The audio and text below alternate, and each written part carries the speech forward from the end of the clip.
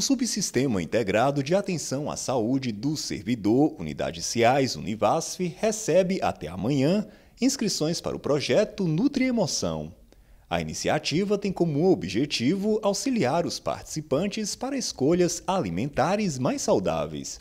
Os encontros vão acontecer de modo online e presencial a partir de 5 de outubro até janeiro de 2024. O público-alvo são servidores da Univasf, especialmente pessoas com algum grau de comprometimento de saúde, em virtude do comportamento alimentar. Mais informações estão disponíveis no formulário de inscrição no abre.ai barra Projeto Nutri Emoção.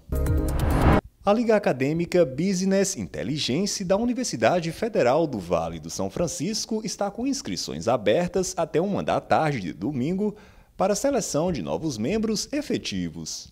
Podem se candidatar estudantes da Univasf matriculados entre o terceiro e o décimo período e que não estejam participando de outra liga. Os interessados encontram o edital e o formulário de inscrição no Instagram lab.univasf.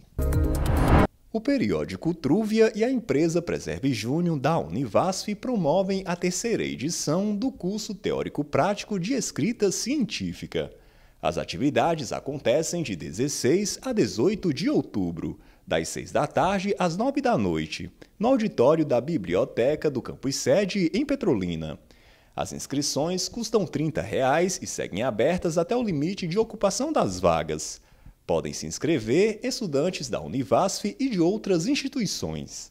Mais informações podem ser obtidas no Instagram preserve.jr. Essa edição do Se Liga Univasf fica por aqui. Até a próxima!